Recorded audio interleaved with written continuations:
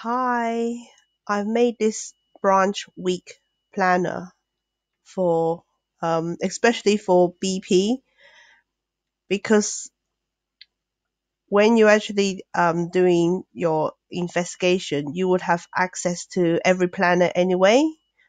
And it's very troublesome for you, I'm sure, to actually go through every single spreadsheet, especially when some of them you're not even have been shared. And when you ask for permission to view them, that will delay your progress. So this is why I made this spreadsheet for you. Now, um, here you have got um, some names. Okay. So you can actually just delete them and it's actually linked to all the different planners. So you can actually just start typing somebody's name and it will bring up um, anybody's um, in the entire branch. So literally, if you think if you can just think of a name and start typing, the name will start to pop up, and it's and it is actually that easy. Yeah. now, if I actually go back to the first name selection,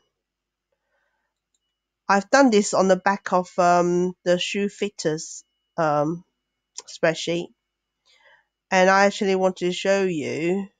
Um, you see, when you say na- name not found, it's usually going through um, all the file to find these people. Now, this person, if if if she's no longer in the branch, it will be a red corner because the spreadsheet can't find the name anymore. And the three dash means um, there's there is an error because it cannot find a name. But sometimes um, throughout the year, people change their name. Like if they have first name, they would they would extend it to a full name, and vice versa. So just be wary of that. And another function which I put in is um, this is al- always going to be today's date, and here you can select any day of um, the year. Yeah. So this is this spreadsheet is actually dealing with a single person. So instead of me just giving you the option for one person, I've given you a um, opportunity to uh, see a group of people from different departments. Yeah. And then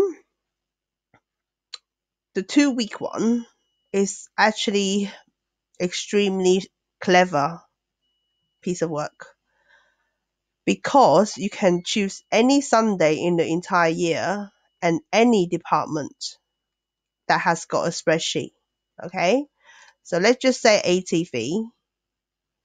And then what will happen now is the formulas will look at ATV on starting from this date, and that will be the entire department. So this will be the, the department search. Now, because you have got this, you, you don't really need to ask me for to give you permission um, to access other people's files because you have it on your fingertip now. Yeah. But bear in mind that sometimes it will take a little bit longer to load. It depends on um, your computer speed. Yeah. Yeah, sometimes it takes longer to, to load. But I'm actually quite pleased with it. Yeah. Um, if you find that it's loading for a long time, don't don't email me straight away, please. Wait one hour, two hour. If it doesn't work, then email me. And um, you can actually press the refresh button to hurry it along. Now, for um, if you have noticed, it will always start with SM start. So that will be the um, first of the list and it will always end with the word end. So if I show you the template I use for the entire branch, I purposely on the main tab put in SM start on every planner. Maybe maybe not the steering group, I can't remember. And then the end the, the right at the end of partner list, I'll put the word end. So hopefully none of the department have deleted uh, these two because I have used um, this formula to deposit um, the rota in here. So if you actually find that um, something is wrong after two hours, then email me and then I will, I will look into it.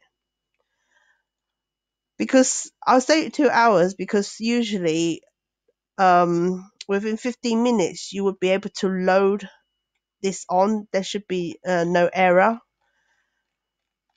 Yeah.